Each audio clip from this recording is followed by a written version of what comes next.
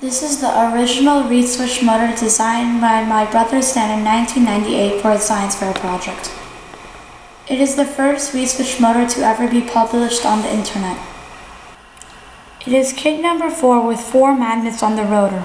It allows you to use 1, 2, 3, or 4 batteries and experiment with 4 different voltages.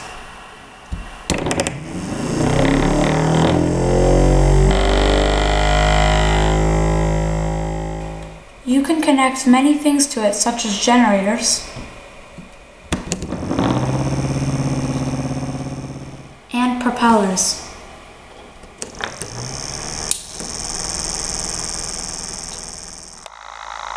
It is a powerful real motor. This motor is very fast. The rotational speed is over 3000 RPM. It is really easy to assemble and understand how it works.